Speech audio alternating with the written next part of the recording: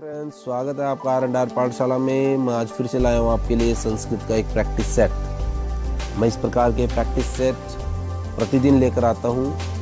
और अगर आप T G T P G T C TET NET U P TET H TET REET आदि की तैयारी कर रहे हैं तो ये पेपर आपके लिए बहुत ही महत्वपूर्ण होने वाला है।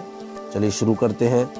जो मित्र नए हैं, वो मेरे इस चैनल को सब्सक्राइब कर लीजिए, बेल आइकन को प्रेस कर लीजिए, जिससे मेरे आगामी जितने भी वीडियोज़ हैं, वो आपको डायरेक्ट मिलते रहेंगे। चलिए शुरू करते बिना देर किए पहला प्रश्न देखेंगे।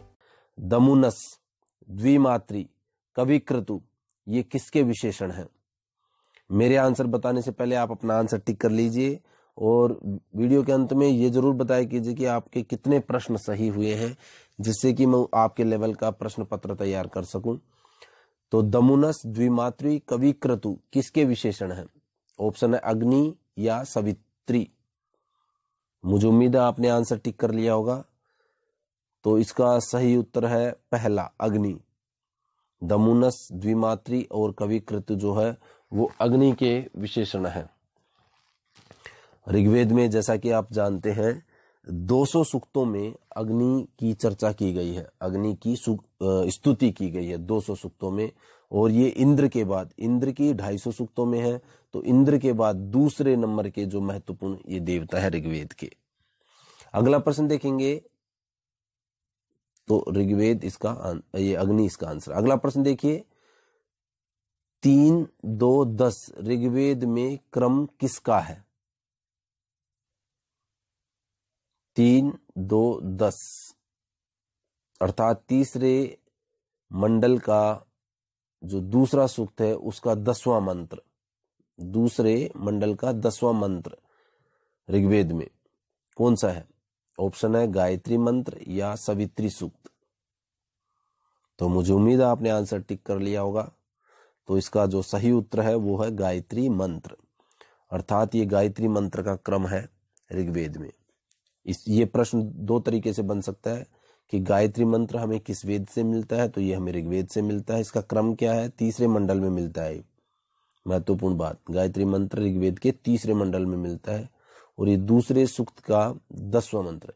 और ये सवित्री सूक्त में ही मिलता है, जो सवित्री देवता है, उनके बारे में इसकी चर्चा की गई। है अगला प्रश्न देखिए, सविता देवता के कितने सूक्त हैं? सविता देवता के कितने सूक्त मिलते हैं? ऑप्शन है ग्यारह या पाँच। तो मुझे उम्मीद है आपने इसका आंसर टिक कर लिया होगा। तो इसका जो सही उत्तर है, वो है ग्यारह है।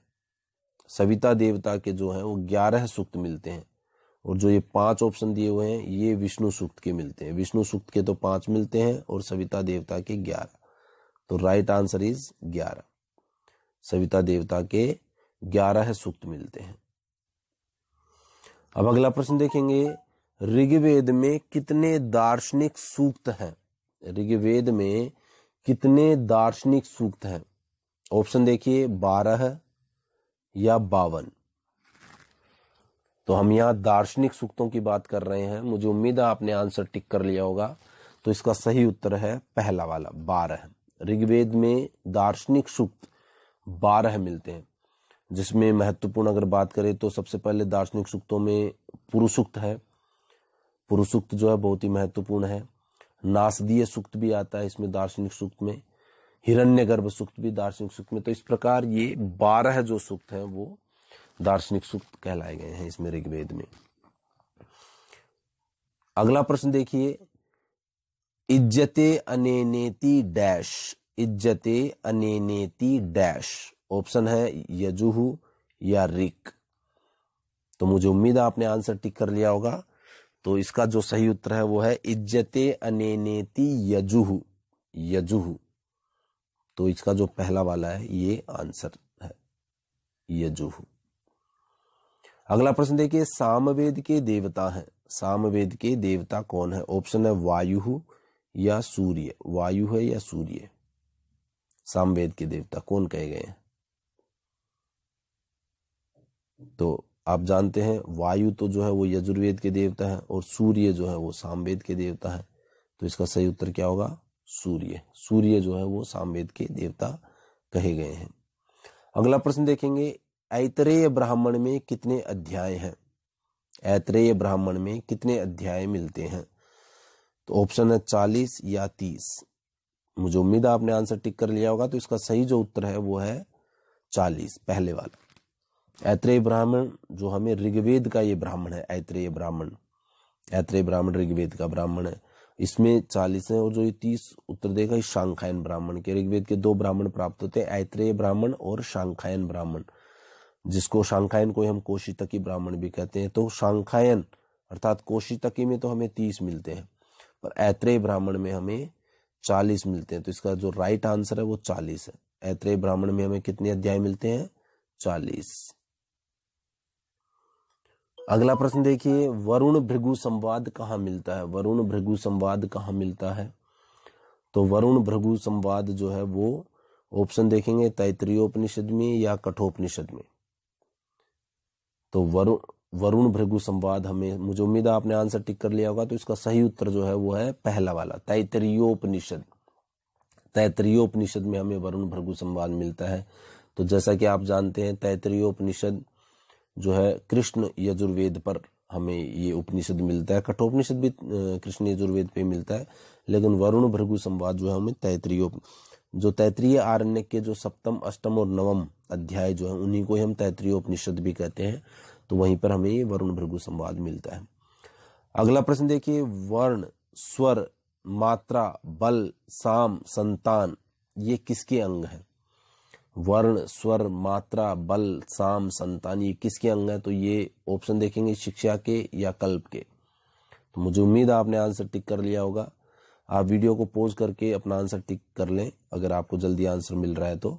और फिर आंसर दे के फिर आगे वीडियो चलाइए। तो इसका जो ये है, ये शिक्षा के अंग है। शिक्षा के वर्ण, स्वर, मात्रा, बल, असाम, संतान। अगर आपसे पूछता है कोई कि भाई शिक्षा के कितने अंग है तो आप छह अंग बता सकते हैं। नाम पूछता है कि संतान किसका अंग है तो शिक्षा का साम किसका है, शिक्षा का बल किसका शिक्षा। तो प्रश्न घुमा घुमा के किसी तरह पूछा जा सकता है। तो इसका सही उत्तर होगा शिक्षा। अगला प्रश्न देखिए, चारण वैद्य किसकी शाखा है? चारण वैद्य किसकी शाखा है? ऑप्शन है सामवेद की या अथर्वेद की। तो मुझे उम्मीद है आपने आंसर टिक कर लिया होगा तो इसका सही उत्तर है दूसरा अथर्वेद की। चारण वैद्य जो है अथर्वेद की शाखा है। अथर्वेद की नौ शाखाएँ मिलती हैं। जिसमें जलद जाजल और चारण वेद्य आदि इत्यादि आती हैं तो चारण वेद्य भी अथर्वेद की शाखा है। तो नौ शाखाओं में से एक शाखा चारण वेद्य है अथर्वेद की।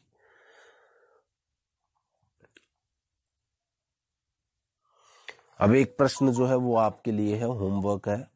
मेरा नेक्स्ट वीडियो आएगा कल। तो उससे पहले आपको इसको रिप्लाई करना है कमेंट बॉक्स में जाके। आपको बताना ऋग्वेद में गायत्री छंदों की संख्या कितनी है? गायत्री जो छंद है, उनकी संख्या कितनी है? ऑप्शन देखिए, दो हज़ार चार सौ सड़सठ या चार इसका उत्तर आपको कमेंट बॉक्स में जाके बताइए। मेरा कल जो वीडियो आएगा, उससे पहले पहले आपको इसका आंसर देना है। तो आज के लिए इतना ही। Thank you very